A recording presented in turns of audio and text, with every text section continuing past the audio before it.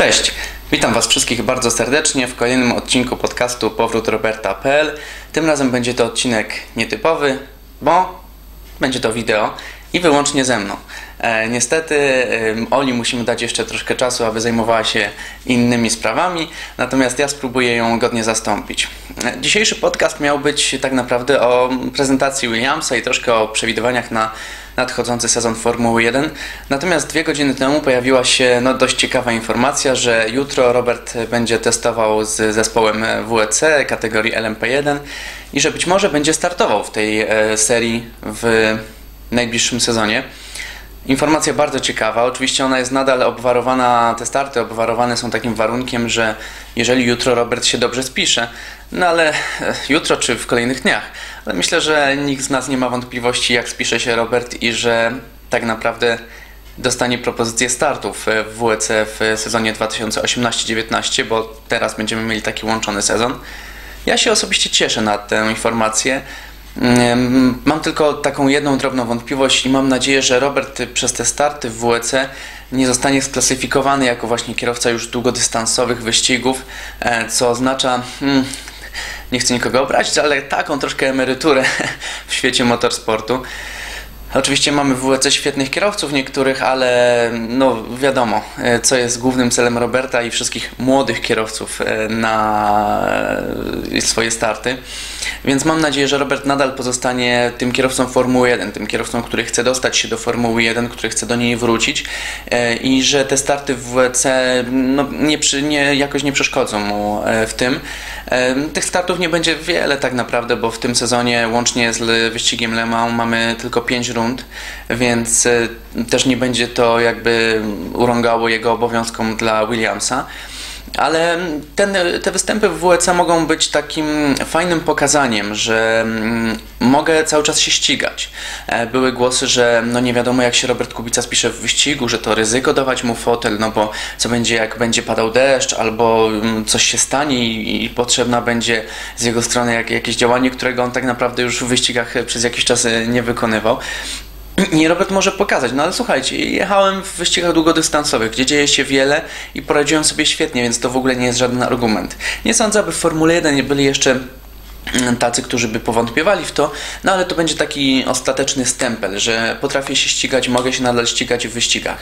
Więc ogólnie myślę, że to pozytywna informacja dla nas, zresztą każdy dodatkowy wyścig Roberta Kubicy to, to dobra informacja i mam nadzieję, że razem z Wami będę mm, emocjonował się kolejnymi startami Roberta. Mam nadzieję, że będzie to o coś walka. No nie możemy się spodziewać, że, że jego zespół będzie walczył o najwyższe miejsca. No, będzie na pewno lepiej niż z Bajkole z ubiegłym roku, ale nadal myślę, że środek stawki to jest ten cel, na który Manor sobie stawia. Manor pod tą fajną chińską nazwą. I mam nadzieję, że Robert y, pomoże im w osiągnięciu tego celu, że będą to fajne starty. Notabene mogą to być starty z Oliwierem Rowlandem, także to historia historia e, jest przewrotna i tak jak mieliśmy z Sergiem Sirotkinem, teraz możemy mieć z e, Oliwierem Rowlandem. Zobaczymy. Tak czy siak, e, myślę, że jest to bardzo pozytywna informacja. Możemy się cieszyć i, i, i, tylko kibicować Robertowi w kolejnych startach, o ile do nich dojdzie, a wierzę, że, że takie będą. Natomiast jeżeli chodzi już o główny temat dzisiejszego podcastu, ten, który był planowany, czyli prezentacja Williamsa. Ta prezentacja chyba się musiała odbyć z jakichś względów. E, nie mogli chyba tego zrobić jak w poprzednich latach, czy jak zrobił teraz Has, że po prostu puścili filmik, e, wideo, puścili zdjęcia, puścili wypowiedzi kierowców i tyle. E, no musiał być zrobiony taki, taki spęd w, Londynie. Może Martini się chciało zaprezentować, może SMP chciało pokazać Sergeja Sirotkina. No a wyszło tak, że pokazał się Robert, a szefostwo Williamsa musiało się gęsto tłumaczyć z jego zatrudnienia e, jako kierowcy rezerwowego. E, natomiast bardzo bronili Sergieja Sirotkina. Mnie już trochę w Williamsie to nudzi. E, niezależnie od tego, jak było i, i czy Sergiej naprawdę jest świetnym kierowcą, który, który dobrze współpracuje z inżynierami, bo tak może być, to już powinni przestać tłumaczyć, że w Formule 1 nie liczą się pieniądze, że nie są na, na głównym, głównym czynnikiem. Dałbym już temu spokój. Co cechuje dobrego przywódcę? To, że nie musi się tłumaczyć ze swoich decyzji, że te decyzje e, albo daje im się obronić, albo po prostu milczy na, na, ten temat. Natomiast Williams cały czas przekonuje nas, jaki to Sergiej jest super i to w pewnym momencie staje się i uciążliwe i, i ktoś przestaje w te zapewnienia wierzyć.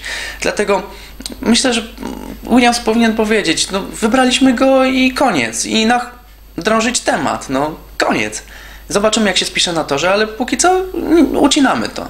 Natomiast tu mamy 15 minut prezentacji, która powinna być no, czymś e, fajnym i mamy bronienie tego wyboru. No, trudno. W każdym razie Robert Scratch Show e, udzielił bardzo, wielu bardzo fajnych wypowiedzi. Wypowiedzi takich szczerych, takich, których raczej nie spodziewalibyśmy się usłyszeć na prezentacji, prawda? No, dla mnie było mega dziwne, że mm, zaskakujące i też pozytywne, że on na tej prezentacji nie mówi och, dziękuję Williamsowi, jaki jestem wdzięczny, że mnie zatrudnili i mam nadzieję, że razem będziemy podążać e, w stronę słońca, cudownie. Nie, tam po prostu było, no.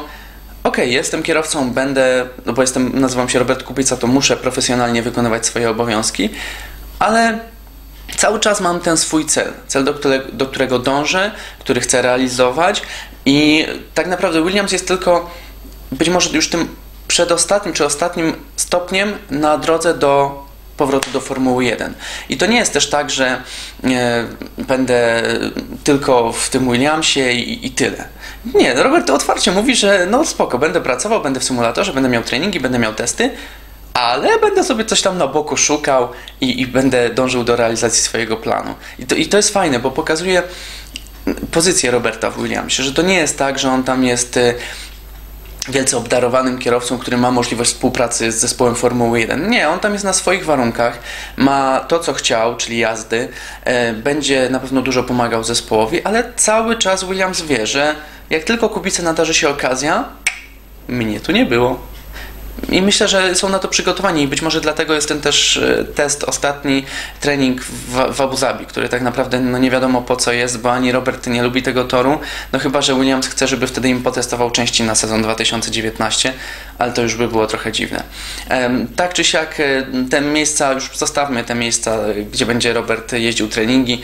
Mm, myślę, że no fajnie, że one będą blisko Polski, dziwi, że nie ma Węgier, ale trudno, kibice na pewno się pokażą i na pewno to będzie fajne przeżycie dla wielu osób. Natomiast jeszcze wracając do wypowiedzi Roberta. Brak tej PR-owej gadki, szczere odpowiedzi, podkreślanie swojej wartości i podkreślanie głównego celu. To jest bardzo pozytywny przekaz. On nie lukrował tam, on po prostu mówił jak jest. Swoją drogą przyjrzałem się mm, wypowiedzią Paula Di Resty e, z prezentacji bolidów Williamsa, czy z wypowiedzi informacji prasowych z poprzednich e, lat, czy, czy nawet jego wywiadów, bo to jest bardziej miarodajne niż informacje prasowe.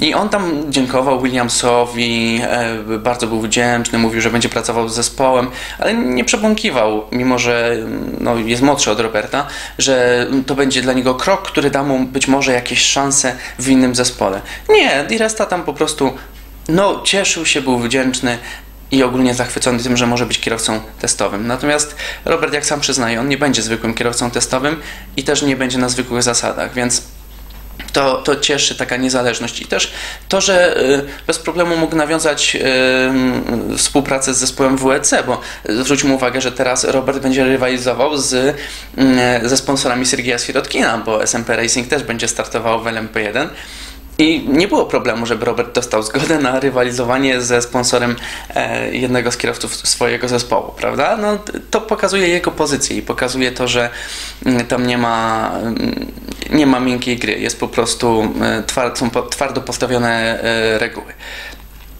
Co jeszcze fajnego było w prezentacji? E, polscy kibice wbili się w ogóle e, na taką prezentację super strzeżoną, ale zrobili nam e, zdjęcia, relacje. Rewelacja. Swoją drogą być może nie wiecie, ale Polka była na liście rezerwowej konkursu, który Williams ogłosił z możliwością wygrania zaproszenia na tę prezentację. Rozesłali im powiadomienia no, na, na krótko przed prezentacją. To chyba były dni czy, czy nawet godziny, więc troszkę słabo, no ale, ale to tam już te, te działania marketingowo-PR-owe Williamsa, bo no oni nie mają teraz budżetu na to, oni muszą się skupić na, na tym, co, co najważniejsze, czyli na budowie y, bolidu. I być może dlatego były te śmieszne wpadki z opublikowaniem kilkanaście godzin wcześniej informacji prasowej, y, która powinna się pojawić dopiero o 20 i nie było tej zapowiadanej paczki y, dla mediów na stronie, one się pojawiały, te, te, te, te zdjęcia tak chaotycznie i, i nawet chyba nie ma dotychczas, z tego co sprawdzałem, na stronie dla mediów żadnego zdjęcia bolidu.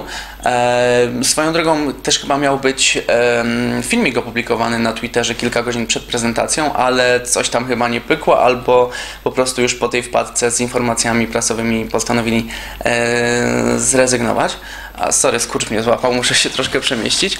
Nie, tak czy siak, e, no no nie było to może idealne, jeżeli chodzi o, o, Williamsa, ale tak jak mówię, oni nie, nie mogą się teraz skupiać na tym, oni mają teraz ważniejsze rzeczy. Polka była na liście rezerwowej, ale nie dostała się chyba ostatecznie, nie, nie, nie dostała informacji, że ma przyjechać, czyli ci główni zwycięzcy e, zjawili się.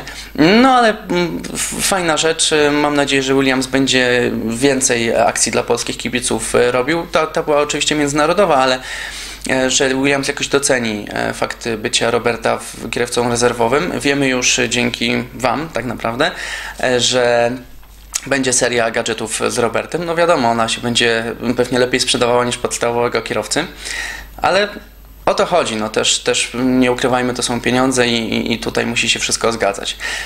Więc ta prezentacja z jednej strony dziwna, ale myślę, że jak, dla nas, dla, dla Polaków, dla kibiców Roberta Kubicy e, pozytywna i e, tak mi się wydaje, że, że powinniśmy być zadowoleni z tego, co się stało. Podkreśla to też Robert i nie ma co narzekać. E, pracujemy cały czas nad głównym celem, pracujemy nad tym, aby było lepiej.